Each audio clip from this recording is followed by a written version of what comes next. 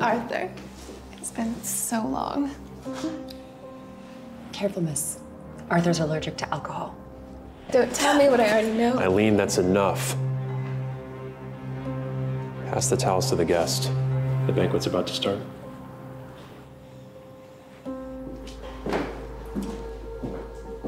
So I hear Arthur's back to meet his wife.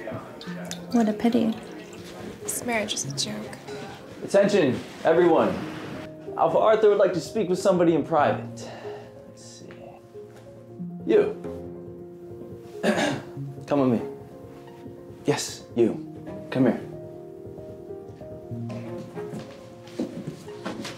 Hi, Chloe.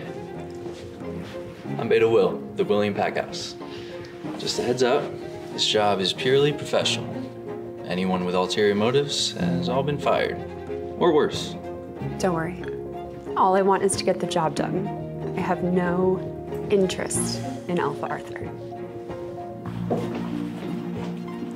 Mr. Robertson, please don't rush me.